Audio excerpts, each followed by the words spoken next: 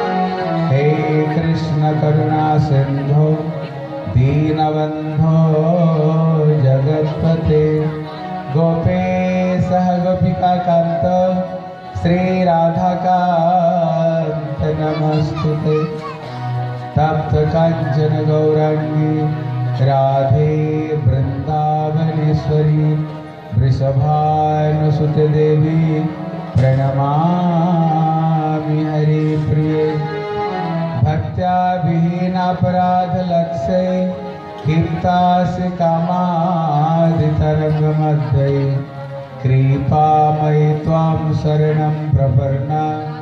वृन्दमस्ति चरणारविन्दम्।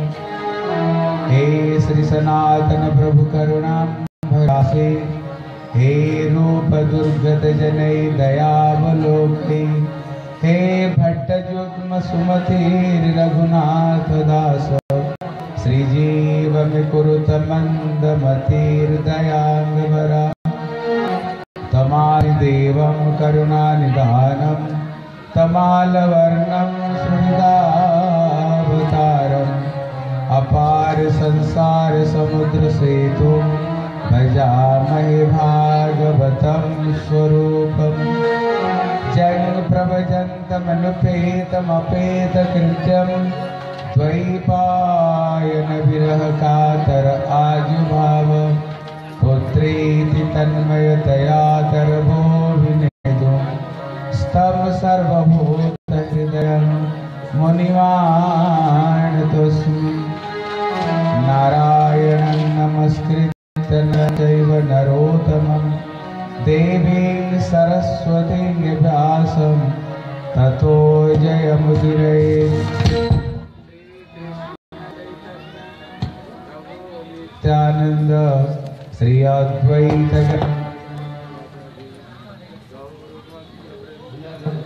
बोल, हरे कृष्ण हरे कृष्ण कृष्ण कृष्ण, हरे हरे। हरे राम हरे राम। राम राम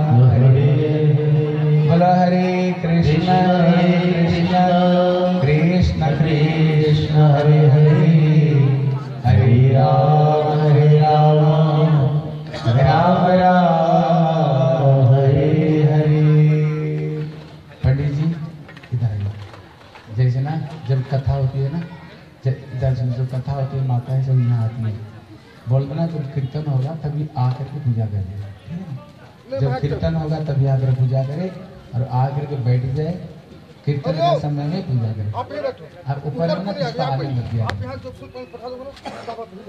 हाँ, वही पर जो लाते हैं ऊपर पूजा करेंगे।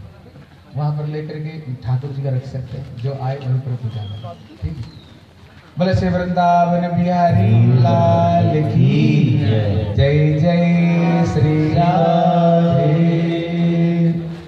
सर्वप्रथम मेरे गुरुपाद पद्म नितलीला प्रविष्णु विष्णुपाद अष्टोदर श्री श्री श्रीमद भक्ति श्री रूप सिद्धांति गोस्वामी महाराज जी के चरण कमल में अनंत कोटि साष्टांग दंडवत प्रणाम करता हूँ तत्पश्चात मेरे शिक्षा गुरुपाद पद्म नितलीला प्रविष्णु विष्णुपाद अष्टोत्तर शतश्री श्री श्रीमद भक्ति वेदांत श्रील नारायण गोस्वामी महाराज जी के चरणों सरज में श्रद्धा पुष्पांजलि अर्पण करता हूँ। उपस्थित श्री मनकामनेश्वर महादेव अन्य अन्य वैष्णव, वैष्णवी माता पिता भाई रहे सभी को मैं यथायोग्य प्रणाम करता हूँ। गतकल हम लोग श्रवण कर रहे थे, कृष्णा कैसे मथुरा में कंस के कारागार में प्रभु आविर्भाव हुए। आज हम लोग श्रवण करेंगे कृष्ण कैसे गोकुल में श्री नंद के लाला बन करके कैसे जन्म होते हैं? और सारे ब्रजवासी कहते, नंद के आनंद भयो, जय कन्हैया लाल की। हमारे भागवत में, हमारे टीकाकार लोग कहते हैं, भगवान जगत में क्यों आए हैं? जिसको कृष्णा गीता में कहते हैं बोले, अजो अपि सन अभयात्मा, भूतानापि ईश्वर अपि सन प्रकृति समधिष्ठाय, संभवामी आत्ममाया कृष्ण कहते हैं, अर्जुन, मेरा जन्म नहीं है, लेकिन मैं अज होते हुए भी जन्म लेता हूँ। बोले, भगवान क्यों जन्म लेते हैं? इसका पीछे क्या रहस्य है? हमारे टीकाकारों ने उसको पीछे कम से कम पंद्रह कारण उसको पीछे बताए। क्यों इसी जगत में ठाकुर जी आते हैं? आज मैं बताऊँगा, कल आपसे फिर फिर मैं सुनूँगा, ठीक है? इसलिए मन लगा कर सुनो।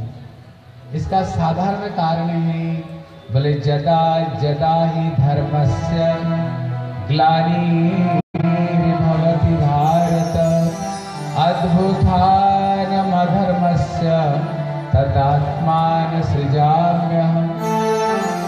कहते हैं, अर्जुन, जब जब इसी जगत में अधर्म बढ़ने लग जाए और धर्म की हानि होने लगे गो ब्राह्मण, पृथ्वी, संतों को ऊपर में अत्याचार होने लगता है। मैं उसी समय इस जगत में अवतीर्ण होकर के दुष्टों को विनाश करता हूँ और अपना भक्तों को मैं रक्षा करता हूँ। कहती ये एक कारण है। बोले, दूसरा कारण क्या है? बोले, अनुग्रहाय भक्तानाम करमी विविध क्रिया। कहते, मैं भक्तों को ऊपर में कृपा करना चाहता हूँ।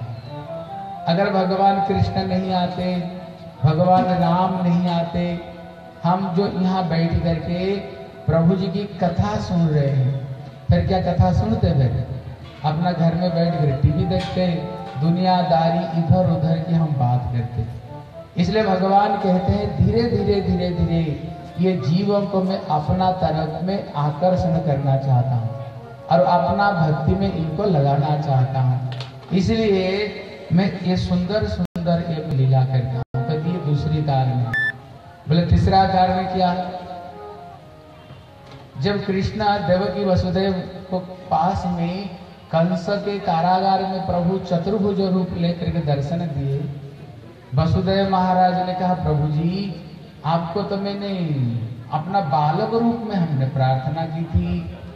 अब ये तो चार हाथ लेकर के सोलह साल के लड़के घुंघराली केस चमकीले चमकीले वस्त्र पहन करके आए। तब भगवान कहते हैं, हे देवकी वसुदेव, तुम दोनों पूर्व जन्म में कृष्णी और सुतभा थे ये देश का राजा रानी तुम लोगों ने ये संसार का कोई भी विषय को भोग नहीं की। एकदम जवानी अवस्था में तुम लोगों ने दस हज़ार साल मेरी तपस्या की।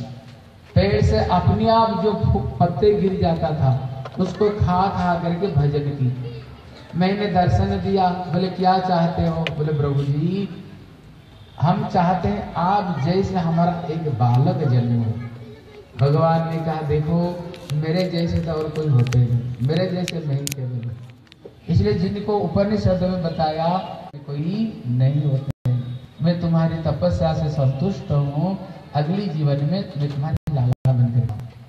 इसलिए भगवान नंद वसुदेव श्री नंद और वसुदेव और देवक रूप में वही कृष्ण और सुतपा आते हैं और ठाकुर जी उनके बालक बन कर आते हैं। कहते ये तीसरा कारण हो गया। बोले, चौथा कारण क्या? बोले, ये पृथ्वी और द्रोण द्रोण और धरा, ये दोनों कठोर तपस्या की पितामह ब्रह्मा की। ब्रह्मा जब संतुष्ट हुए, बोले, बताओ क्या चाहते हो? बोले, हे प्रभु, हम चाहते हैं जैसे स्वाभाविक रूप में एक ही माँ की पेट से एक बच्चा जन्म लेता है। और जैसे मैया उसको दूध पिलाती है पल्ले ने उसको झुलाती है अंगुल पकड़ करके ठुमुक ठुमुक करके चलाना सिखाती है। मैं चाहता हूँ, ऐसे ही आप मेरे घर में मेरे बालक बन करके आओ, मैया जैसे मैं आपको प्रेम प्यार करना चाहती हूँ। बोले, कोई बात नहीं, मैं तुम्हारी लाला बन करके आ जाऊँगा। वही द्रोण और धरा, ये द्वापर युग में नंद और श्री जसोदा बन करके आए। कृष्णता प्रकट हुए कहाँ पर? मथुरा में। लेकिन पल्ले में उनको झुलाया किसने? इनको स्तन किसने पिलाया?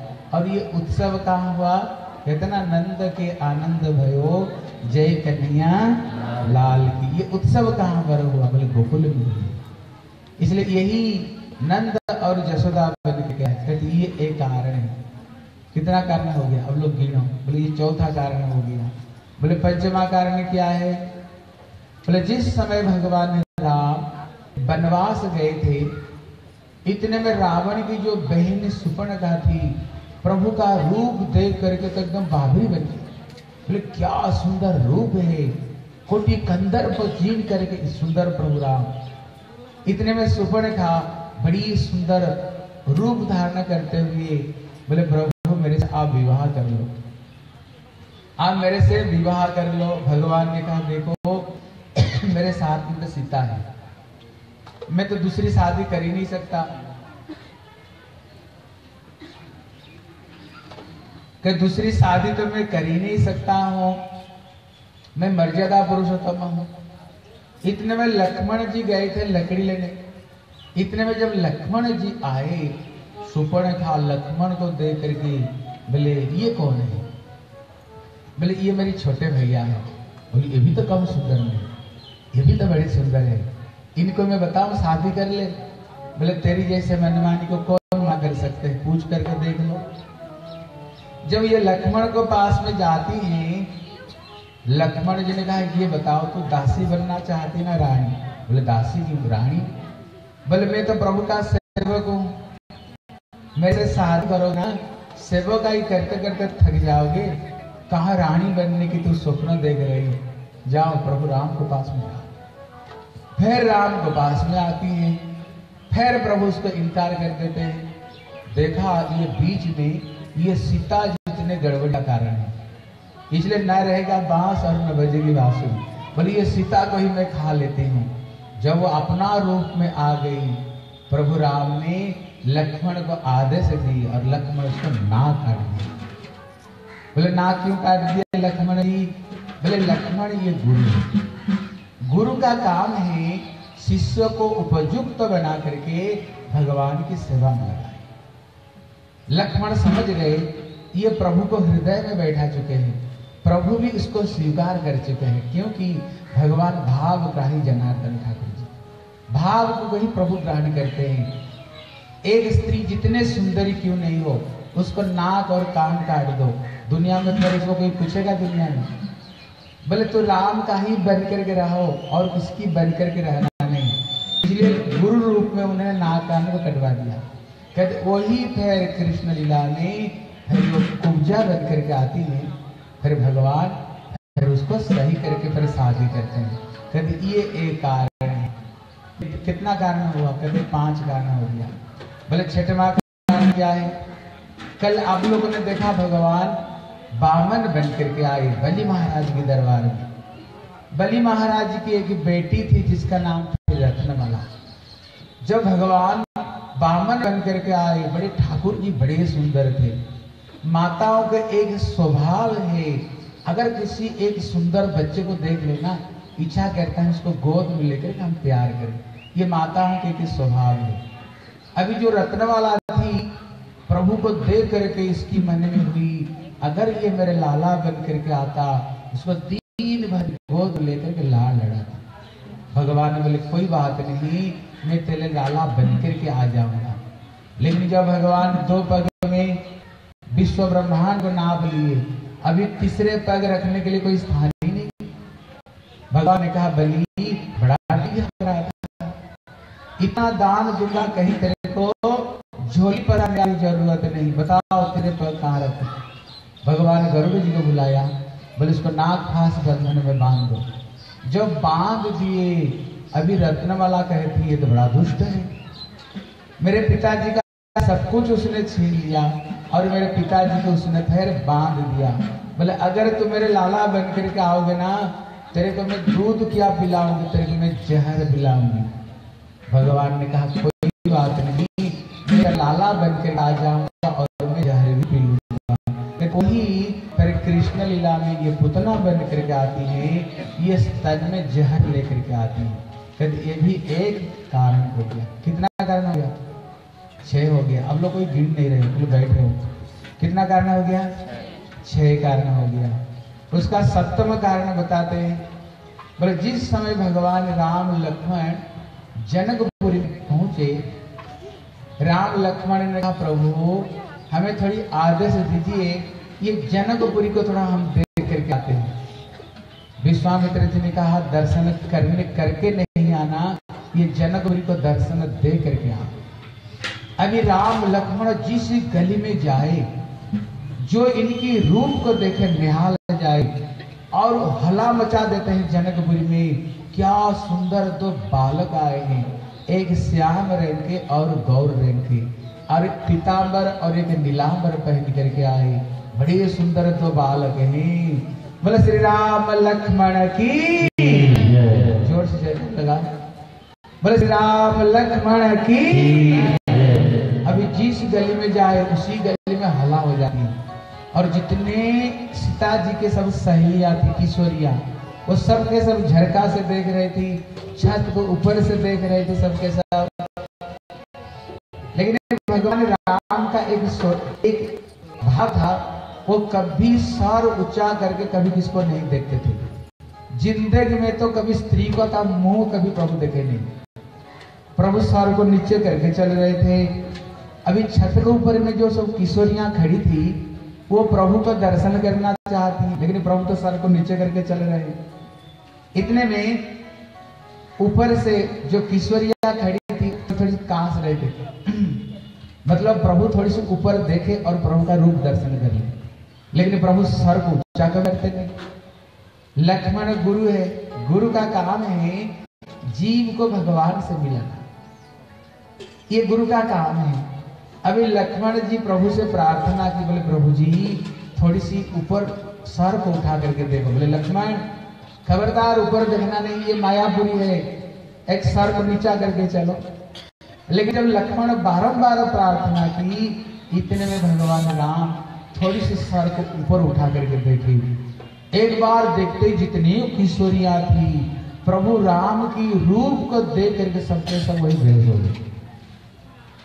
जब उनकी होश आई, जितने वहाँ की किशोरिया प्रभु राम को पीछे पड़ गई, बोले, हमसे शादी कर लो, विवाह कर लो। भगवान राम ने कहा, देखो, ये रामावतार में एक सीता को छोड़ करके और मैं किसी को ग्रहण नहीं कर सकता। इसलिए तुम सब के सब द्वापर युग में गोभी बन करके आओ। तुम सबको मैं ग्रहण करूँगा। वही सबके सब जितने किशोरियाँ सीता जी की सहेलियाँ, सबके सब द्वापर युग में ये गोभी बन करके आए। और प्रभु कृष्ण बन करके आए। ठाकुर जी सबको स्वीकार किया। देखो, ये कृष्ण ऐसे देवता है ना, कोई भी इनको पास में आ जाए प्रभु किसी को नहीं छोड़े। कुबुड़िया आ गई, उसको भी ग्रहण कर लिया। राक्षस आ गए उन्हें भी ग्रहण कर लिया। इसलिए जो कोई आए, भगवान कृष्ण सबको स्वीकार कर लेते हैं, भगवान कृष्ण। कृष्ण किसी को छोड़े? नहीं, बोले, क्यों? बोले, जो कृष्ण है, ये पूर्ण ब्रह्म है। ये पूर्ण पूर्ण ब्रह्म होने का नाते ये समर्थ है। इसलिए गीता में आप पढ़ करके देखो, कृष्ण गीता में जो जो बात बताया ना, कृष्ण हर जगह में बोले सब कुछ छोड़ करके मेरे शरण में आओ। मन मना भव मत भक्त भव चरण में मन को मेरे चरण में दो, मेरा ही भक्त बनो, मेरा ही पूजा करो। मत परतरम नान्यत किंचित अस्ति धनंजय।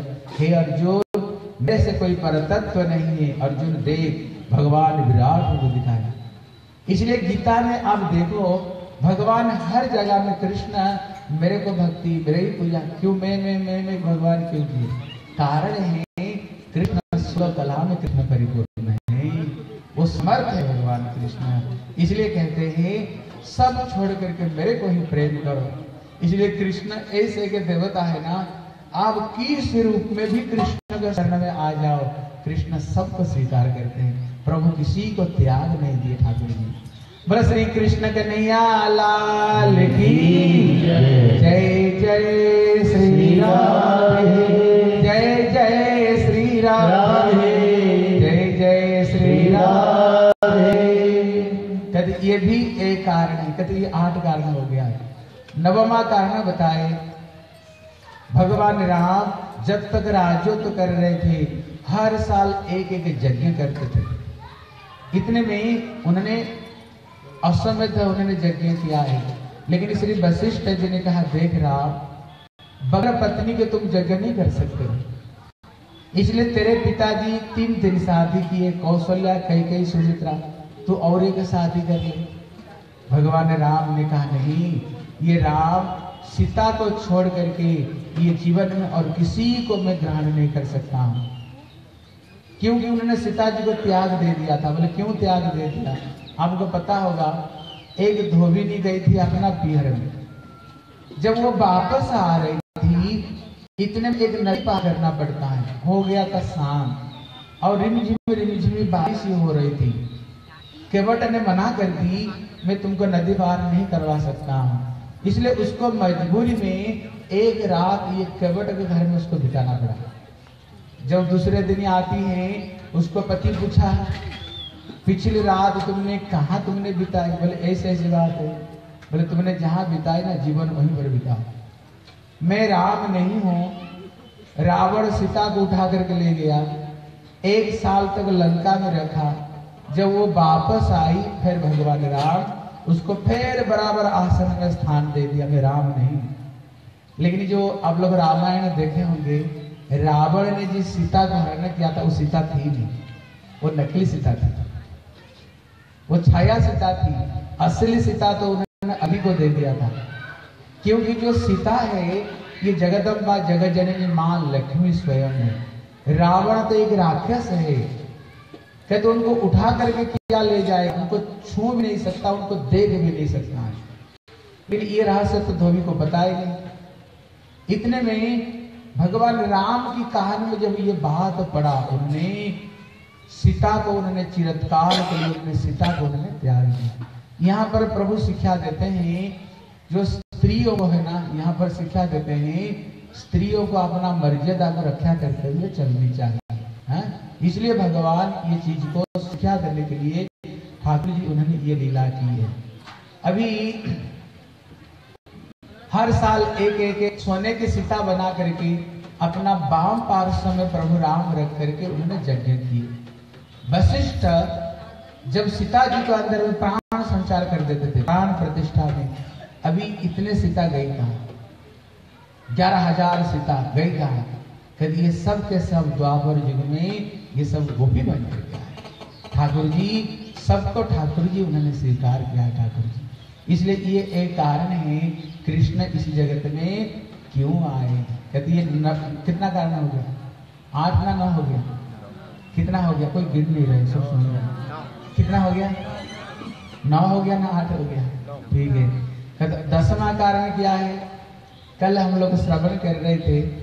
बोले, जिस समय चतुसन प्रभु को दर्शन करने के लिए वैकुंठ में आए, छह दरवाज़ा तो पार हो गए। अभी सप्तम दरवाज़ा में जय विजय वहीं पर खड़े थे।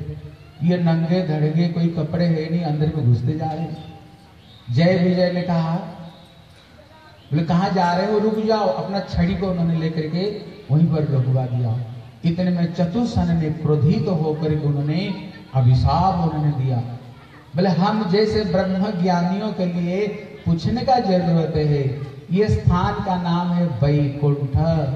वैकुंठ मतलब होता है, जहाँ पर किसी तरह का कुंठा धर्म नहीं, जहाँ पर काम, क्रोध, लोभ, भय, द्वेष, हिंसा जहाँ पर नहीं यहाँ पर हमें भी ज़रूरत है पूछने के लिए। जाओ, तुम दोनों को हम अभिशाप देते हैं। राक्षस कुल में जाना पड़ेगा तुम्हें। इसलिए उनकी अभिशाप से इतने में प्रभु जी आ गए। बोले, क्या बात? बोले, ऐसे ऐसे बात है। बोले, देखो, अगर मेरे भक्त बन के जाओगे, सात जन्म के बाद में तुम यहाँ आओगे।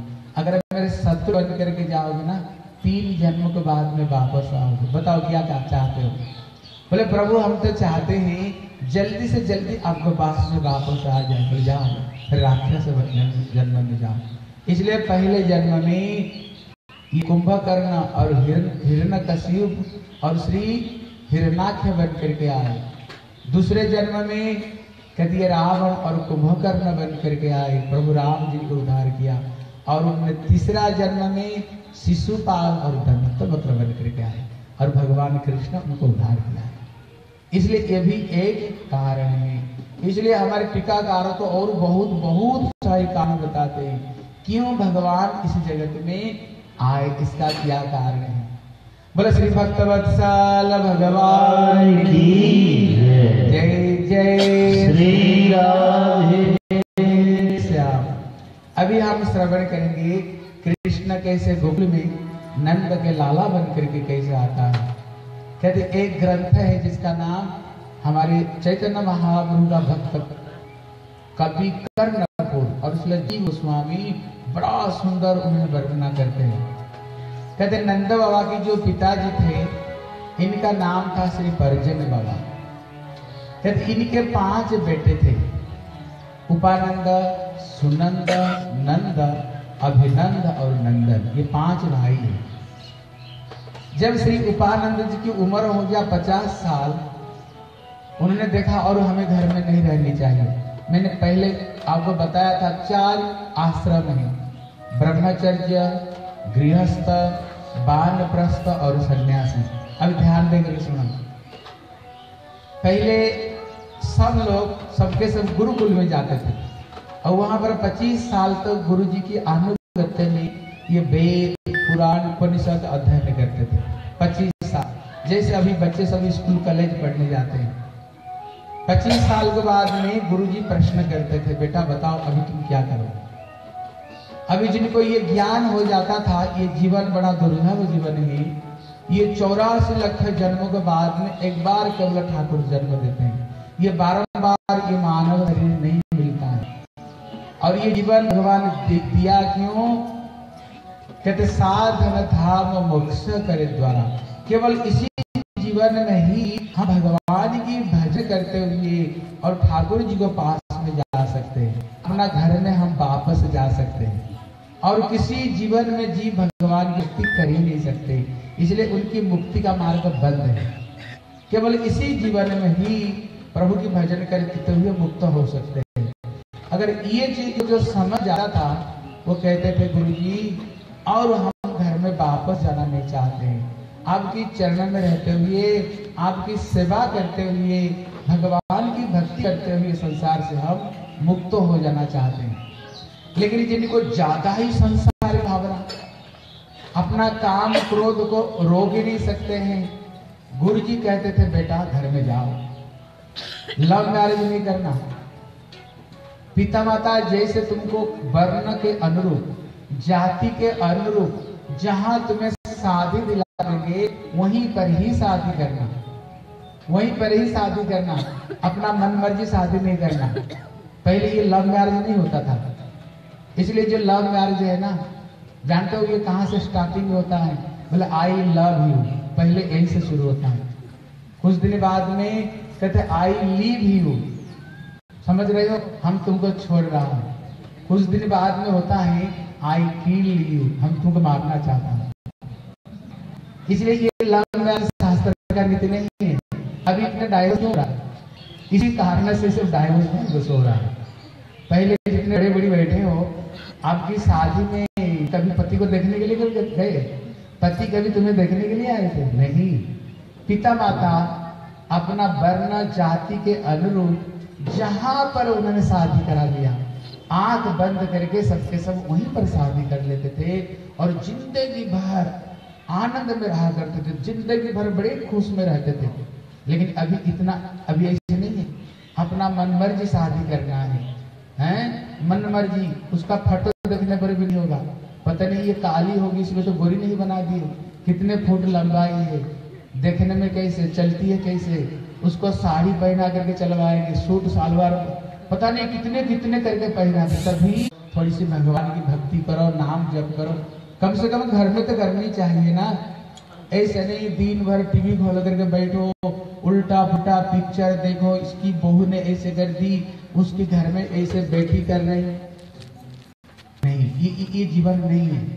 इसलिए अब रामायण लोग सुने होंगे जब दशरथ महाराज अपना तस्वीर को शीशा में देखा एक दो बाल पका हुआ है। फिर उन्होंने राम को बुलाया, बोले, बेटा, और नहीं। मैं संसार में रहना नहीं चाहता, ये बाल पक गया। कल हम सुन रहे थे ना, जब बाल पकाए यहीं से कान के पास में। पहला बेल बजा दी। समय हो गया जाने का। भगवान से बोल करके आया था भजन करने के लिए ना, कितने माला जप कर रहे हो? कितने भगवान की गीता भागवत पढ़ते हो? कितने दुनियादारी का काम करते हो?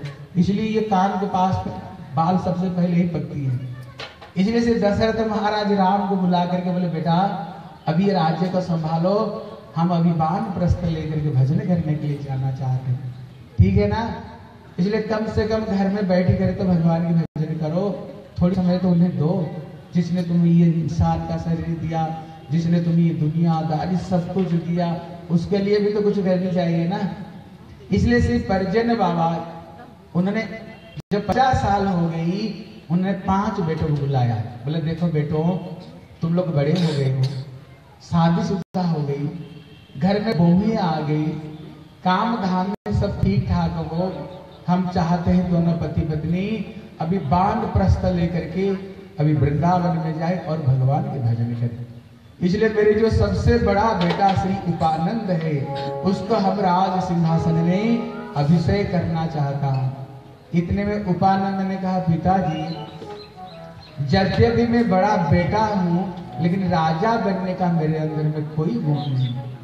कि जो नंदा है, जो मझला बेटा, इसके अंदर में राजा बनने का सारे गुण है। आप इनको ही राज सिंहासन में बैठा दो। सारे प्रजा बड़े खुश हो बात सही बता रहे हैं, क्योंकि उनका नाम ही नंद है। नाम नंद। नंद मतलब क्या है? सबको जो आनंद प्रदान करे। इसलिए कहते हैं, नंद के आनंद भयो, जय कन्हैया लाल की। अभी नंद बाबा को उन्होंने राज सिंहासन में बैठा दिया। परिजन बाबा, उनकी पत्नी का नाम थी बरियसी। ये दोनों ने चले गए बान प्रस्थ में। अभी चार बेटों का तो संतान है, लेकिन केवल श्री नंद बाबा का घर में कोई संतान नहीं। इसलिए नंद बाबा बड़े दुखी, भविष्य में ये राज सिंहासन को कौन संभालेगा? अभी अभी मैया जसोदा बच्चे जन्म देने का जो उम्र बीतती जा रही है। बड़ी चिंता में पड़े हुए। एक दिन क्या हुआ ब्रज में, गोकुल में, कुछ साधु लोग वहाँ पर आए। और श्री नंद बाबा को बोले, बाबा, जो ना करे लकड़ी और सो करे फकरी। लकड़ी मतलब होता है भाग्य। तुम्हारी भाग्य में जो नहीं है, फकरी मतलब होता है भगवान की भक्त, संत। अगर किसी संतों की कृपा हो जाए, अगर तुम्हारी भाग्य में कोई चीज़ नहीं, वो संत लोग की कृपा से वो संभव हो सकता है। संत सेवा की बड़ी महत्व बाबा, संत सेवा की बड़ी महत्व है। देखो भागवत की दसम स्कंध की कथा सुनो। संत सेवा की कितने महत्व है? और जो श्रीमद भागवत जो कथा है, हमारे श्री, नाम क्या है? गिरिराज। गिरिराज कुमारी इन्होंने जो ये भागवत कथा कराया, देखो इसकी कितनी महत्व। ये दसम स्कंद की कथा है। बोले, एक समय कृष्ण के बच्चे लोग खेल रहे थे। खेलते खेलते हठात देखा, एक कुएँ के अंदर में एक गिरगिट पड़ा हुआ। और इतना बड़ा गिरगिट है, वो टस से मस भी नहीं हो पा रहा है, श्वास भी नहीं ले पा रहा था। उनको बच्चों ने कोशिश की निकालने के लिए, लेकिन निकाल नहीं सके। कृष्ण को बुलाए, बोले, पिताजी पिताजी जल्दी जल्दी आओ, देखो, एक गिरगिट पड़ा हुआ कुएँ के अंदर में। कृष्ण तो सब जानते हैं। इतने में कृष्ण आए, अपना चरण को नीचे बढ़ाया और कृष्ण का चरण स्पर्श पाते ही वो जो गिरगिट था, बड़े सुंदर देवता रूप प्रकट हुआ। कृष्ण के बचे तो अक्के बके चके रहेंगे। बोले, भैया, ये गिरगिट बना था, ये सुंदर देवता है। कृष्ण सब जानते हैं, अपना बच्चों को शिक्षा देने के लिए बोले महात्मा जी, आप कौन हो? बोले आप लोगों ने सुने होंगे सत्य युग में एक नृग नाम का राजा थे। बोले हाँ हमने सुनी है। वो तो पृथ्वी का सबसे बड़ा दानी है। देखो, ध्यान देकर सुनो, इसमें बहुत सारी अच्छी अच्छी बात बताए बोले, पृथ्वी में सबसे बड़े ये दानी थे। कहते, पृथ्वी का धूल कणा का कोई गिन नहीं सकते हैं। बारिश का बूंद को कोई गिन सकते हैं। लेकिन इनकी दान की कोई गिन नहीं सकते। कितने दानी। गैया इतने दान दिए जो केवल एक बछड़ा जन्म दिया हुआ हो। खूर को चांदी में मढ़वा करके, सींग को सोने में मढ़वा करके और पीठ के ऊपर में मखमल वाला कपड़ा उड़ा करके उन्होंने इतने गैया दान दी जिसका कोई सीमा नहीं। फिर इनको ये गिरगिट कैसे बनना पड़ा? देखो, कहती ये जगत का दान पुण्य में ना कभी कभी गड़बड़ी हो जाती है। जगत का दान पुण्य में कभी कभी गड़बड़ी हो जाती है। इनकी यही चीज़ हुई इन्होंने संकल्प करके जो गैया को उन्होंने दान दिया एक ब्राह्मण को, वो ब्राह्मण से कैसे एक गैया कैसे भागते हुए जो दूसरी गैया को अंदर में मिल गई। लेकिन राजा को ये पता ही नहीं चला, फिर संकल्प करके उन्होंने और एक ब्राह्मण को दान दे दिया। पहला दिन जिनको दान दिया था, वो ढूंढते ढूंढते आ रहे हैं, मेरी गैया कहाँ गई? देखा दूसरा ब्राह्मण उसको लेकर के जा रहा है। उसने कहा कि गैया, मेरी बोले, गैया, तेरी कैसे? राजा अभी मेरे को दिया। बोले, नहीं, राजा मेरे कल को दिए, तभी मेरी तेरी करते करते लड़ाई, लड़ते लड़ते राजा को पास में आए। राजा तो कहाँ उठे दोनों को चरण में गिर पड़े। बोले, मेरे से अपराध हो गई। मैं एक बार संकल्प करके जिसको दे दिया, फिर दो बार मैंने इनको दे दिया, मेरी गलती हो गई। हम लोग को माफ़ कर दो, एक काम करो, एक गैया को तो एक ले लो और दूसरों को मैं दस गैया देता हूँ। बोले, नहीं, गैया तो हमें यही चाहिए। बोले, बीस, बोले, नहीं, बोले, सौ, बोले, नहीं, बोले, हज़ार, बोले, नहीं, बोले, लाख, नहीं, बोले, करोड़, बोले, नहीं, गैया तो हमें यही चाहिए। लास्ट में दोनों बोले, ओ तो गिरगिट जैसे रंग बदलाते हो। अगली जीवन में तेरे को गिरगिट बनना पड़ेगा। दोनों अभिशाप देख रहे अभी मरने का बाद दूध पकड़ करके ले गए। जब महाराज चित्रगुप्त को बोले कापी खोलो। बोले, महाराज, इन्होंने इतने दान इतने दान इन्होंने किया, पृथ्वी का धूल कणा को कोई गिन सकते हैं, लेकिन इनके दान को कोई नहीं गिन सकते। बोले, फिर बोले, बीच में ये गड़बड़ी थोड़ी सी हो गई। इसलिए इनको गिरगी बनना पड़ेगा? इतने में जब महाराज बोले, ये बताओ, पहले तुम पाप लोगे ना पुण्य लोगे? बताओ, क्या लोगे तुम पहले? बोले जब पाप थोड़ी सी है थोड़ी सी पाप ले लेता हूँ पुण्य तो है ही है मेरे लिए। बोले, जाओ तो गिरगिट बन कर जाओ। बोले, ये कब की बात है? बोले, ये सत्य युग की बात है। बोले, अभी कौन सा युग बोले, द्वापर का अंतिम। मतलब कितने करोड़ों साल तक तो उसने गिरगिट बन बन करके पड़ा हुए भी अभी प्रश्न है, फिर इनको कृष्ण का चरण का स्पर्श कैसे मिली? उन्होंने कृष्ण दर्शन कैसे की है हमारे टीकाकार बड़े अच्छी बात कह रहे हैं। बहुत अच्छी बात कहते हैं। देखो, ये जगत का जो दान पुण्य है, आपको ये स्वर्ग तक ले सकता है। इसी जगत में जैसे दुखी दरिद्र को दान किया, स्कूल कॉलेज खोल दिया, किसको खिलाया पिलाया, वो कहाँ तक ले सकता है? बोले, स्वर्ग लोक तक आपको ले जाएगा। लेकिन कब तक वहाँ रह रहोगे? बोले, जब तक तुम्हारी पुण्य खत्म नहीं होता है। पुण्य खत्म होते झट वहीं से फिर इसी संसार में आना पड़ेगा।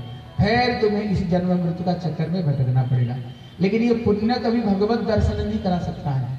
पुण्य केवल ये शरीर संबंधी वस्तु है, ये शरीर का सुख तक केवल दे सकता है, उसको आगे नहीं दे सकती है।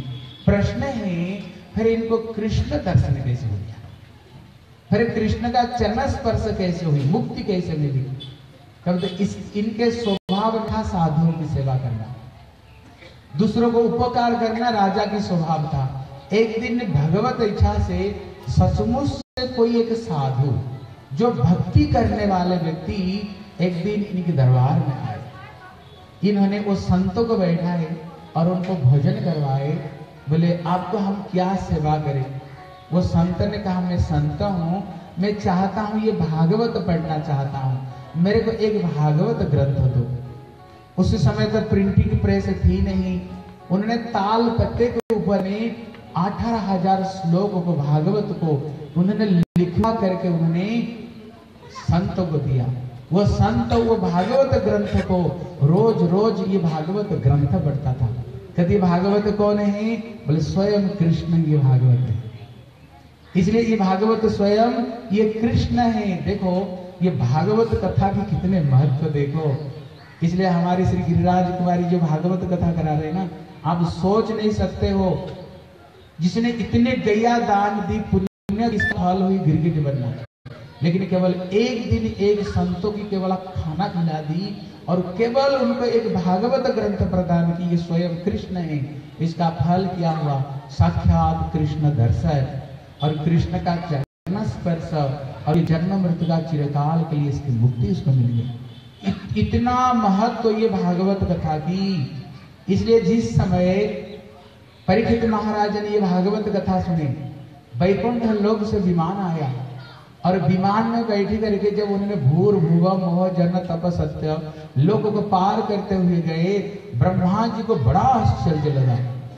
बोले परीक्षित महाराज तो कुछ किया ही नहीं, केवल भागवत कथा ही सुने। तो उन्होंने भगवत प्राप्ति कैसे हो गई? तो उन्होंने तराजू लाया। तराजू का एक तरफ़ में जगत का जितने सत्कर्म था, दान, पुण्य, तीर्थाटन जितने सत्कर्मों को तराजू की, एक तरफ़ में धर दिए। तराजू के दूसरे तरफ़ में उन्होंने केवल ये भागवत कथा की पुण्य को उन्होंने एक तरफ़ में धर दिया। जिधर भागवत कथा को रखा, वो तो पत्थर के पत्थर जैसे जमा रहा। और दूसरे तरफ़ में जितने पुण्य सब के सब हल्का होकर के ऊपर में उठ गया। इसलिए ब्रह्मा जी को पता चला भैया, ये भागवत कथा जैसे पुण्य जगत में कुछ हो ही नहीं सकता है। बोले श्रीमद भागवत कथा मृत ज़ोर से जयकार लगाओ। बोले श्रीमद भागवत कथा मृतम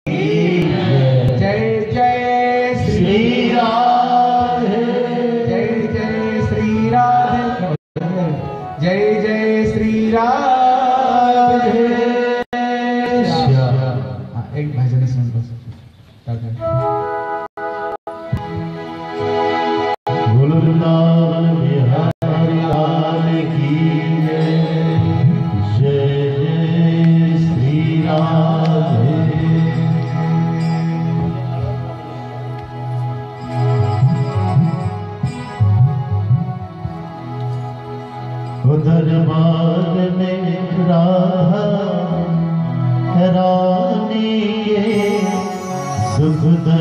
मिटाए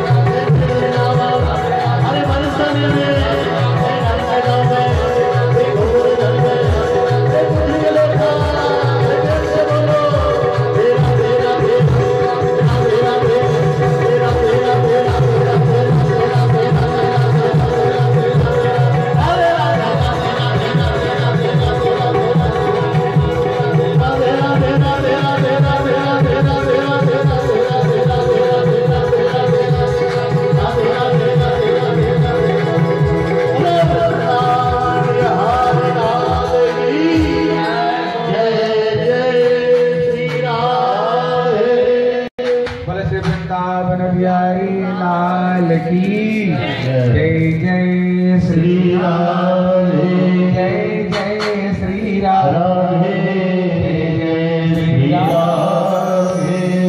सभा की महिमा बताए नंद बाबा बोले जब गंगा बहते बहते घर को सामने आ गई फिर उसमें गोता नहीं लगा।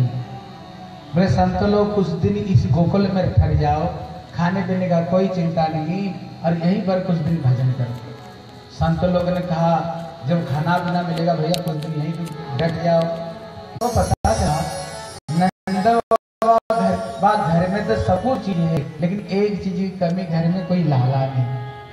और इतना दिन से नंद बाबा की सेवा को हम ग्रहण कर रहे हैं, लेकिन अभी तक घर में कोई लाला ही नहीं भयो है जब संतों ने ये बात आपस आपस में चर्चा कर रहे थे, एक ब्रजवासी ने ये बात को सुन करके नंद बाबा को बोले नंद बाबा बोले, जब संत लोग कह रहे हैं, मेरे घर में लाला कब है वो? संतों का वाणी कभी झूठा नहीं होता है।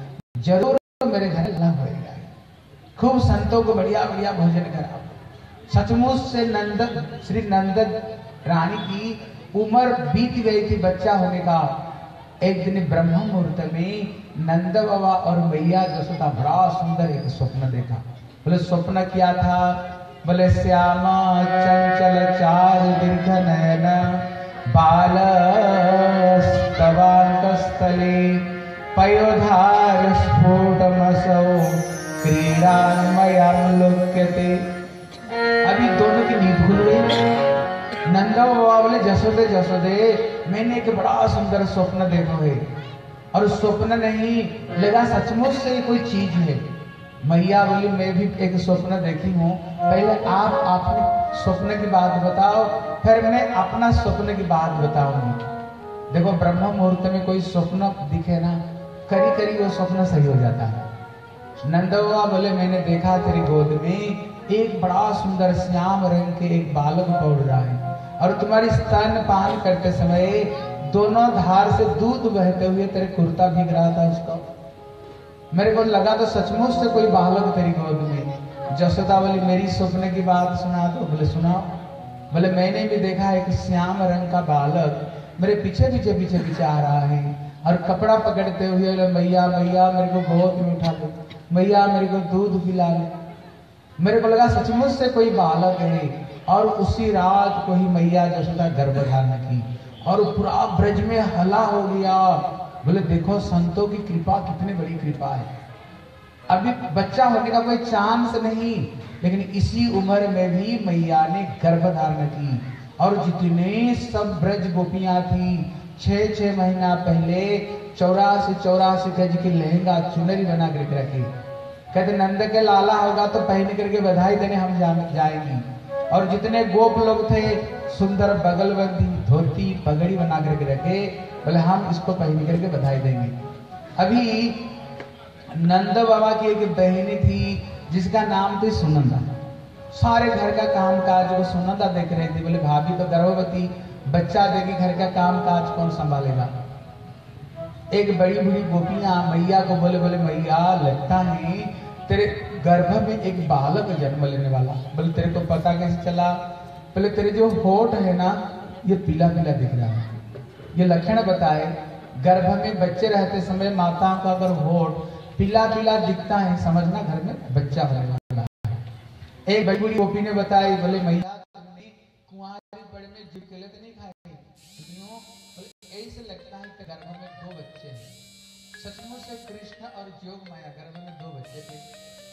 जब गर्भ में बच्चा रहता है, माता को चटपटी चीज़ अच्छी लगती है, बोले, मेरे, मन में तो खीर खाने की बड़े सुंदर, गैया दूध में घी डाल के श्री काजू पेस्ता करके घी बनवाए, खीर बनवाए, घर में जो सालक राम भोग लगवाए तुलसी दल से, और मैया को घी, उन्होंने खीर खिलाए।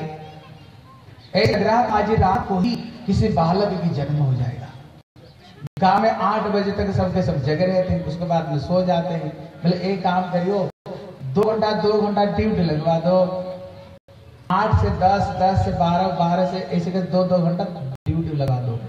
जिनको आठ से लेकर के दस बजे तक ड्यूटी लगवाए, वो तो सबके सब ढोलकी मजरा लेकर के सब सब कीर्तन कर रहे थे।